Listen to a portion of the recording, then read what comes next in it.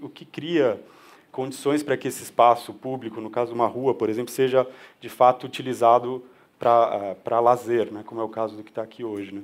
E que, que, condições desse espaço que são necessárias para que isso ocorra e como é que a gente pode, eventualmente, diminuir a rigidez entre as fronteiras do que é o espaço público e do que é o espaço que não é, digamos, público. Né? As formas mais diversas. Todo mundo tem história de rua, né? ou foi assaltado, caiu, levantou, paquerou, sabe? A rua é um, eu diria que é uma entidade né, que está presente o tempo todo na vida da gente. A casa é o lugar do parente, laços de sangue, consanguinidade e aliança.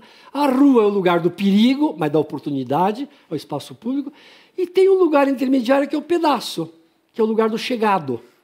Parente, perigo, o inimigo e o chegado, chegado, colega, que é um lugar que está entre a casa e a rua. No lato senso, né, do espaço, inclusive o espaço é, coletivo, o espaço público, o espaço político, né, essa, essa crise que a gente está vivendo, é, minha forma de ver, tá, tem tudo a ver uma coisa com a outra, né, estão diretamente relacionados. Esse paradoxo é buscar visibilidade tendo invisibilidade. Por quê?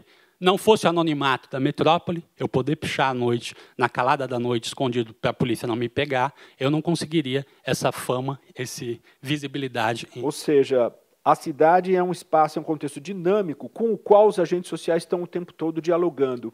E me parece que essa questão do ativismo urbano incide diretamente nessa questão, porque um dos aspectos é, centrais é como o espaço urbano vem sendo ocupado, apropriado, recriado por esses agentes. A gente poderia dizer que esse vazio da cidade uh, tem suas transformações urbanas relacionadas principalmente a um pensamento rodoviarista que regeu muitas intervenções urbanas no século XX na cidade de São Paulo. Economias criativas e tal, então, né, de, de, de, inserção, e articulado a toda a transformação, a formação de Baixo Augusta, como área de diversão noturna tal. Então, é, é totalmente é, também articulado a isso. Colocasse o tempo livre, o uso desse tempo e o uso do espaço, como se usa o espaço por um tom político, e um tom político não relacionado somente a umas dimensões tradicionais que politizavam, esse, esse tempo e politizavam, assim, consequentemente, espaço, mas também por outras práticas que não necessariamente antigamente se,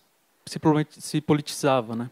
Tem que levantar o astral, fazendo críticas, fazendo denúncia, mas falar, olha, não vamos fazer o papel que a mídia está fazendo, que é abaixar a autoestima. A noção de ocupação é uma noção central na história da Constituição Territorial Brasileira. Ela é uma noção fundamental da formação nacional brasileira. As pessoas querem deliberar junto, as pessoas querem participar, as pessoas querem ter atividade. Então, como é que a gente transforma esses âmbitos participativos consultivos em âmbitos participativos uh, deliberativos? Quando a gente se pergunta espaços livres de quê?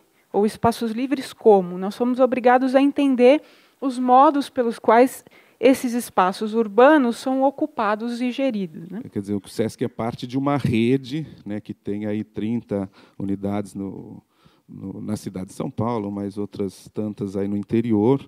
Né? Então, o SESC é um pouco é parte dessa rede. Né? Então, isso é importante.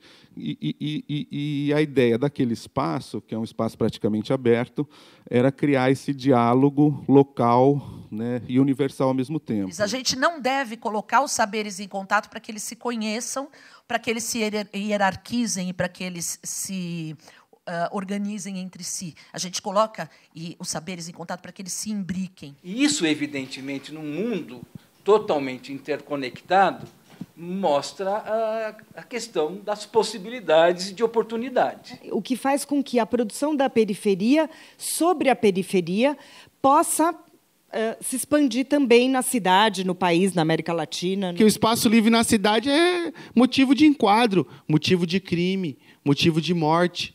Quantos jovens? O que aconteceu lá em Osasco? As chacinas lá em Osasco. Os caras estavam parados. Aonde? No bar. Por quê? É o único espaço de lazer da gente.